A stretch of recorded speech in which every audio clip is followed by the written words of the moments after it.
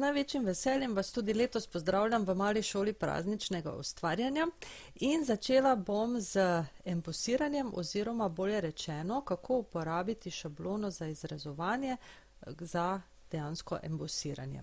Kot vidite, pripravljeno imam že nekaj papirja in pa to šablono snežinke. In tole, kar vidite tu, je dejansko embosirano z samo šablono, enkrat na ta način, da so noži obrnjeni proti papirju, to je ta prvi, in pa drugi način, da dejansko hrbtno stran same šablone obrnem na papir in jo takole embosiram. Lahko pa vse skupaj še malo dopolnimo in dobimo takšen videz in pogledali si bomo po vrsti, kako torej vse to doseči. Pa začnemo vseeno na začetku in sicer jaz si nastavim plošče tako, da odprem ta dva ta teba, na to dodam same plošče za embosiranje, jaz imam te Sizeksove, kjer imam to belo ploščo in pa to gumo. In pa na to na vrhu bo seveda prišla še sama prozorna plošča. In poglejmo si najprej, kako torej izgleda, če embosiramo z samo šablono na ta način, da imamo nož obrnjen proti papirju. Takole izgleda. Lahko se vam zgodi, da se vam bo eko papir, ki ima takšna vlakna pri embosiranju malo poškodoval, kar pa lahko na lahek način popravite kar za to kostjo, ki jo drugače uporabljamo za prepogibe. No, drugi način smo rekli, da šablono obrnemo s hrbno stranjo na papir in dobimo takšen izgled, ko ga vidite tukaj na desni strani, na levi pa je torej ta, kjer je nož obrnjen proti papirju. Pa dajmo vse skupaj še malo začiniti in zaradi tega hrbtno stran same šablone premažem z belo pigmentno plazinico.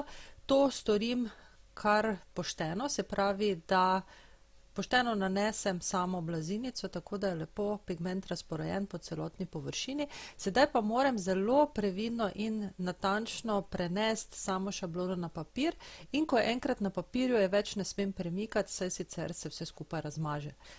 Tukaj se upravičujem, da je moja glava na poti, ampak to ravno zaradi tega, da lahko samo šablono lepo nastavim na papir. In sedaj spustim skozi Siziks. In zgodi se ena taka mala čarovnija, kjer se pigment tako čudovito prenese na sam embosiran del in sploh ta eko-bela kombinacija je meni zelo lepa. Ker gre pa torej za pigmentno blazinico, je ta precej mokra in je dobro, da damo malo na stran in pustimo, da se vse skupaj lepo posuši. Vmes pa jaz lahko vajo ponovim, vendar tokrat nekoliko drugače in sicer sedaj uporabim Versamark blazinico in spustim šablono znova skozi sam Siziks in ker je ta blazinica lepljiva, lahko sedaj to embosirano površino posipam z prahom, v mojem primeru gre za zlat embossing prah, ki ga na to še segrejem oziroma raztopim z samogrelno pištolo. Tukaj vidite, kako lep učinek pusti tudi zlaten embosirni prah. Jaz še malo pogrejem na hrbtni strani, zato da se papir znova malo zravna. In poglejmo še enkrat, ta krasen embosiran zlati del.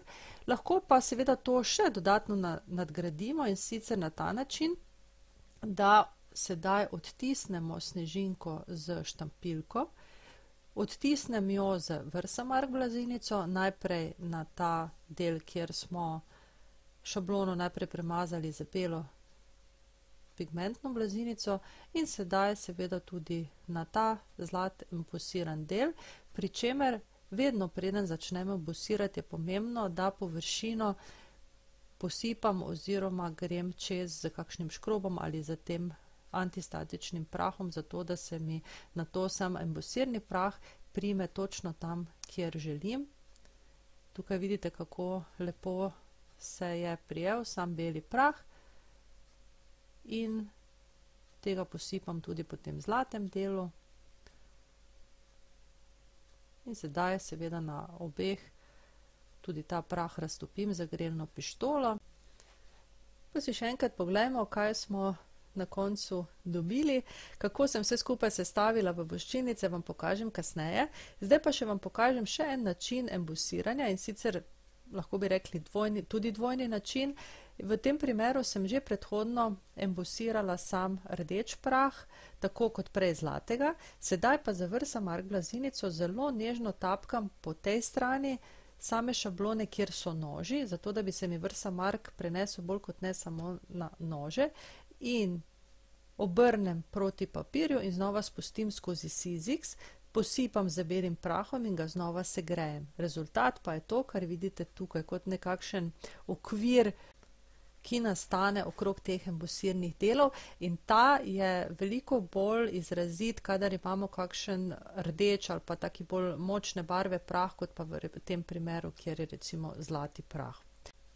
Zdaj pa si še pogledamo, kako sem sestavila voščilnice in sicer v tem primeru, kjer imam v zadju pigmentno belo blazinico, sem dodala v spodnjem delu embosiran napis, tega sem embosirala na paus papir, na tej drugi sem v, na suho embosiran del embosirala zlato samo snežinko in dodala napis. Tukaj sem pa na sam embosiran del nalepila izrezano in s prahom embosirano snežinko. Na tej zadnji pa sem embosirala z, tem, z to drugo šablono in sicer z nožino vzdolj. In to mi je naredilo tudi en tak lep okvir, katerega sem, na katerega sem na to zalepila modro mozgumo in pa samo snežinko, na katero sem embosirala potem s modrim prahom še sam odtis. Tudi tukaj pa je napis Srečen Božič embosiran zlatim prahom na paus papir. To je to za danes, hvala za ogled in čau!